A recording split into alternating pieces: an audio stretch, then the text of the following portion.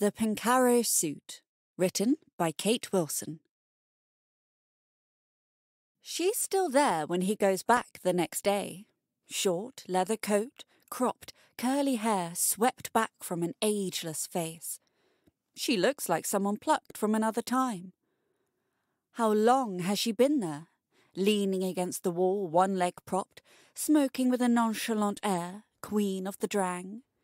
She turns then, looks straight at him, gives a half laugh, half sneer. You again? Come back for another look? Keen, aren't you? I can tell. I've met men like you before. Men in your situation. Oh, she knows. Be sure of that. Knows all about the needs that brought him to this place. Exactly why he's come here. He falters, then turns to leave and hesitates. Oh, look, he's gone all red. Don't worry, lover boy. I'll look after you. Harris! Harris, I know you're in there.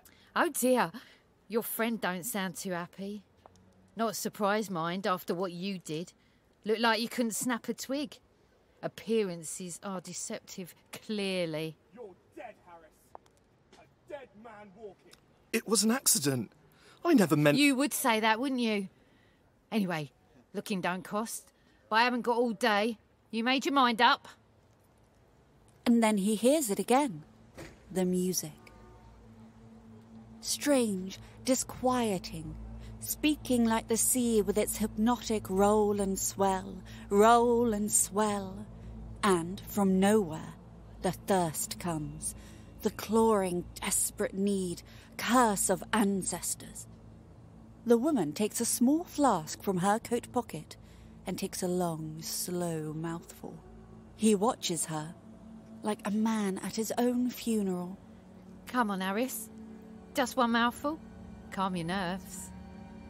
But you know to do so now would be to lose yourself completely. No, no. So yourself. Your loss. She reaches up suddenly, snatches something from the air, holds it in her clenched fist, and then throws them at him. Two shillings for a cupful of buttons? Daylight robbery. Make sure you find them all, darling. You'll need them where you're going. He scrabbles in the dirt to find them 17, 18, 19. Come on, come on. and puts them in a pouch with the others. Here, here. 20. Come on then. Vamoose. She leads him into the narrowing lane. The walls, tall on either side, are clad with tangled ivy like malevolent living cliffs. She walks at great speed, though as he follows, she appears to be hardly moving at all.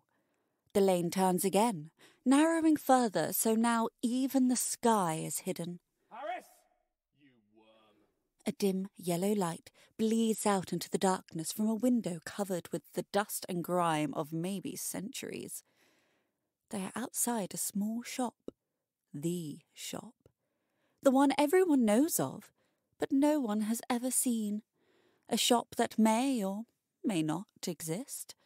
Appearances are deceptive, clearly. She pushes a door and he follows her in. Ah, Ariel. There you are. Immaculate timing as always. Mr. Harris, welcome. We've been expecting you. My dear, did you. Of course. The butter market's finest. Mmm, saffron buns. Thank you.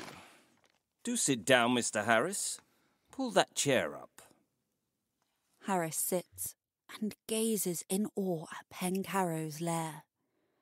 On every surface are glass jars filled to the brim with buttons. Polished brass and sturdy gabardine, buttons covered in chintz and wool. Round buttons, square buttons, dainty mother of pearl from a lady's evening glove. Lit by the firelight, they shine like so many jewels.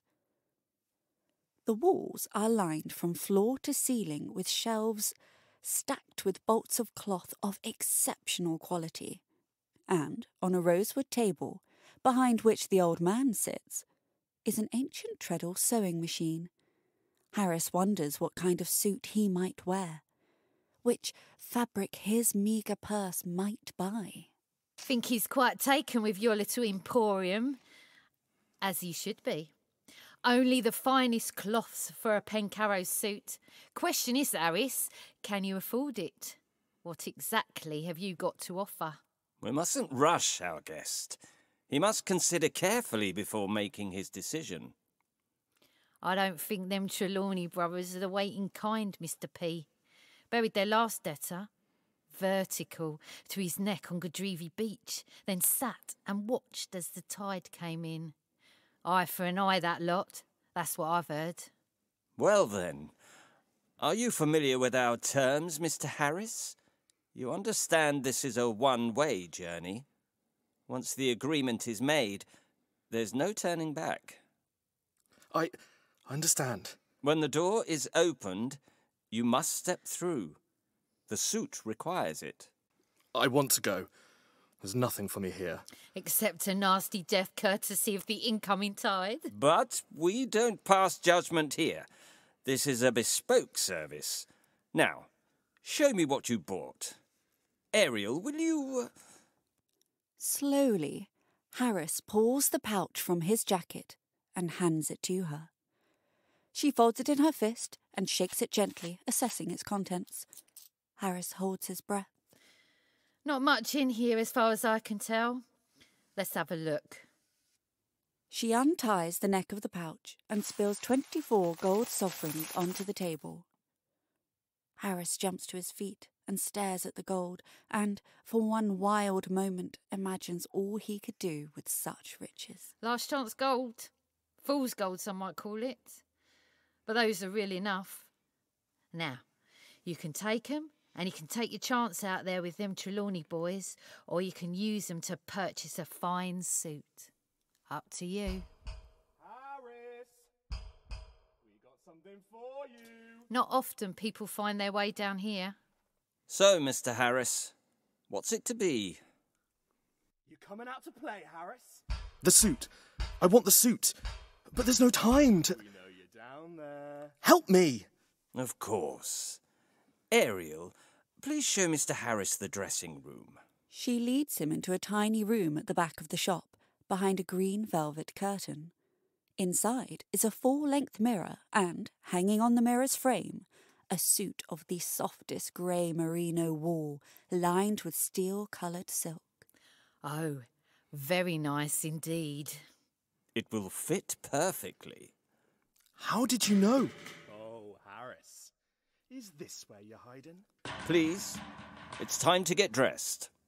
Harris leaves behind one life and dresses himself for another. What it will be, no one knows. Only the man or the woman stepping through the door will learn what lies on the other side. For some, it may be an earthly paradise. For others, the moment they see themselves in their fine new suit may be the last happiness they ever know. Ah, you look splendid, Mr. Harris. Harris! Harris! But now, you must go. He pushes aside an old rush mat on the floor. Underneath it is a door with two heavy brass handles like those you might find on a coffin.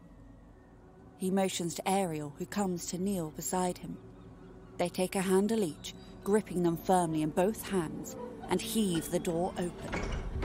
Come out, Harris, or we're coming in. Ready, Harris? Now!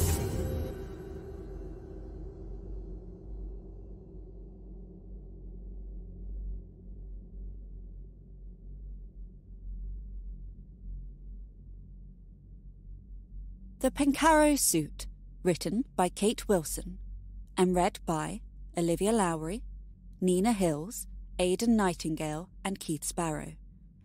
Directed by Connie Crosby, with sound recordings by Phil Innes. This is part of a series of bedtime stories for grown ups, produced by the Writer's Block.